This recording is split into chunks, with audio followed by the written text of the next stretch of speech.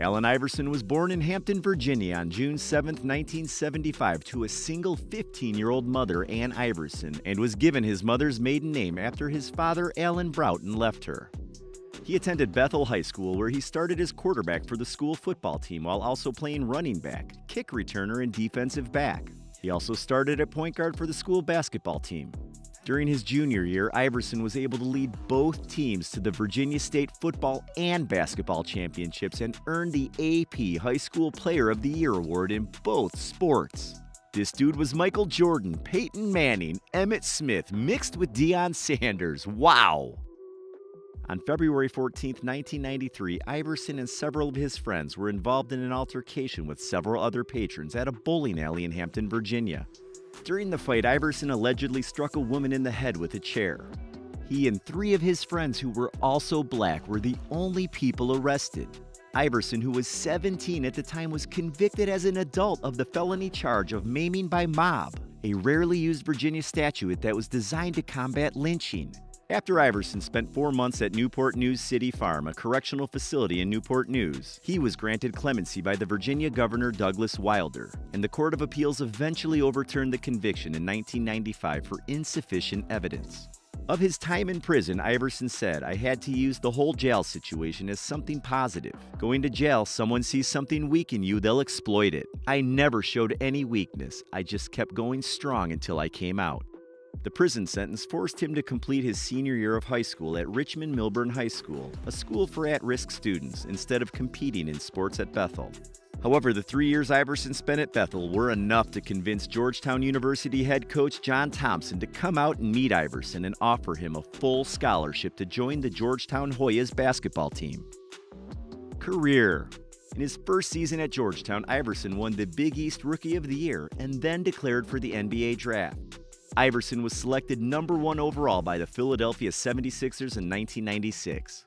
During 10 seasons with the Sixers, he averaged 27.6 points and 6 assists per game. Iverson led the team to the finals and was the MVP that same year.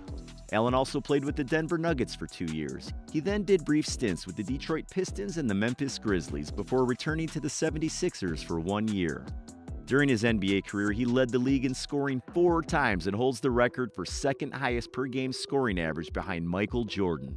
He's an 11 time All Star, three time steals leader, and seven All NBA selections. In 2016, he was elected to the Naismith Hall of Fame. What an incredible basketball career. Now we know a little about Iverson's b ball career, let's get into how he makes that stash. Contract as an NBA player, Allen Iverson made 154 million in salary alone. AI's rookie contract was for 3 years and 9 million. Iverson made 2.3 million during his rookie season while averaging 23.5 points and 7.5 assists. He easily won the Rookie of the Year award. His highest career contracts included a 71 million 6-year deal in 1999 and a 77 million 4-year deal in 2003. His peak earnings year was when he was paid a staggering 21 million by the Detroit Pistons in 2009.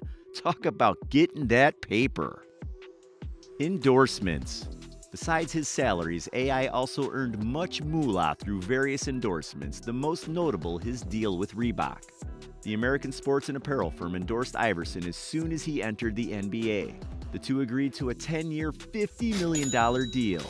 Later on, Reebok gave Iverson a lifetime deal after the Philadelphia 76ers legend won the league MVP in the 2001 season. AI was a fashion icon as he was the first hip hop basketball player that tied the two cultures together. Everyone in hip hop was wearing basketball gear, and the players were wearing clothes that matched the streets. AI changed the sneaker game with his sneaker line. The Reebok Question Mid were worn when he crossed up Michael Jordan, and the Answer 4s were worn during the classic final step over Tyronn Lue shot. These iconic moments made his shoes and Reebok's profits go sky high. According to various sources, the deal includes paying Iverson $800,000 a year. It also includes a $32 million trust fund that Iverson can access when he turns 55 in 2030.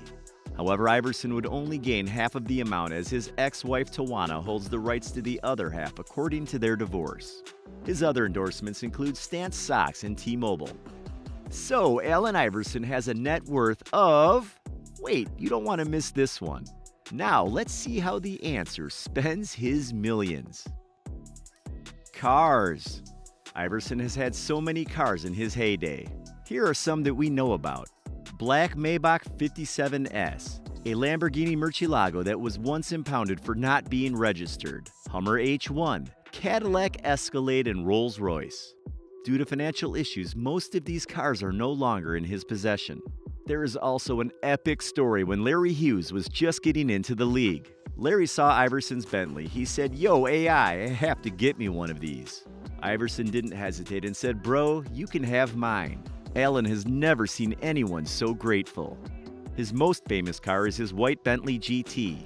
This smooth luxury beauty has over 600 horsepower and costs a whopping $250,000. Talk about driving to the lane. Houses. Iverson is a Philly legend. He lived up to it on the court and off. He has a house in Gladwyne, Pennsylvania. This estate is 8,000 square feet with six bedrooms. It has a billiards room, wine cellar, and home theater. This was the legendary hideout home when he and his wife got into an argument. Allen allegedly broke into a West Philly apartment and brandished a gun. He hunkered down in this house as reporters waited outside for days. AI bought this house for 2.3 million and eventually sold the house to baseball player Chase Utley who was with the Phillies for 2.8 million, a profit of about $500,000. Chase has remodeled the place and it now looks more contemporary. Iverson has a pad in the Atlanta area. His home is in Alpharetta and is in a gorgeous community with tons of stuff to do in a quiet suburban area. The house has seven bedrooms and seven and a half baths. Moreover, it features a pool and hot tub and a great outdoor patio space. The backyard has great views of the area as well. Iverson had the house built and made an interesting modification when he converted a whole bedroom into a closet that could fit hundreds of sneakers. He paid 4.5 million for the house, which ended up going to foreclosure and was auctioned off for 2.5 million, a $2 million loss. Allen is now reported to be living in Charlotte. AI did not have all the answers with houses, as he also fell into foreclosures with houses in Denver and Villanova. There are lots of stories of Iverson gambling, drinking too much alcohol, going to strip clubs, and spending way too much money. This is a lesson about living too much of a flashy lifestyle. Let's hope Iverson can recover. Charity. Allen lives a life of luxury but is also involved in charity work. The Answer, along with a host of former NBA players and the And One mixtape stars, hosted the All In basketball game, which hopes to raise funds for homeless people in the country. He offered to volunteer his basketball skills not as a player, but debuting his coaching abilities to American and Asian street players. Talk about a heart of gold. Love Life. Iverson started dating his high school sweetheart, Tawana Turner, when they were 16 and they married early in his career. They have five children Tiaura, Allen II, Isaiah, Messiah, and Dream.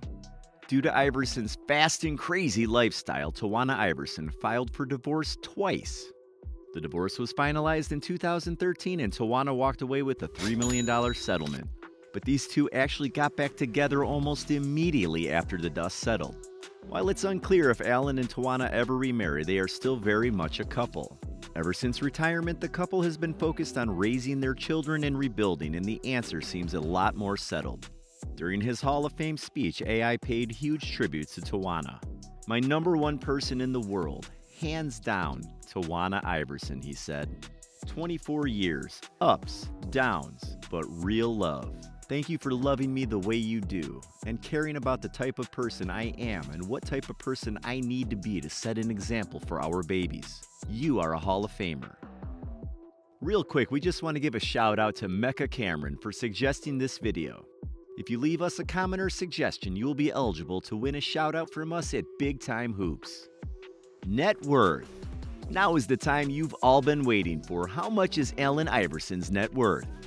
Before that, we just want to say that sometimes we get heat for saying a player's net worth is too low. Just because you made a million doesn't necessarily mean you're worth a million. Many players live way above their means. Of course, over Allen Iverson's life, he earned over $200 million. His lavish lifestyle was followed by financial woes after retirement. And now, with everything going on in Iverson's life, he has a net worth of $1 million. Remember, it's not what you make, it's what you keep. Reebok set aside that $32 million trust fund that Allen and Tawana will not be able to access until he's 55 in the year 2030. Hopefully, things get much more comfortable by then.